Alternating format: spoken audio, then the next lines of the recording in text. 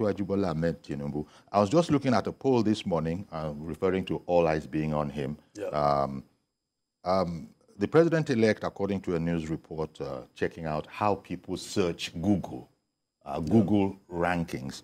Uh, the president-elect uh, has, has polled 54% of searches to emerge uh, the most searched candidates out of all of them. Now, this is up from three days going into the election when it was at 45%, still leading Yes. at 45%. Yes. And now here we are, the search has intensified uh, such that uh, Tinubu is now, you know, he's pulled 54% of the searches and followed by a distant second of uh, Peter Obi with um, uh, 36%. And uh, it then goes down the line like that. But I, I, I was just relating to that point about all eyes are on Tinubu All eyes now. on on him.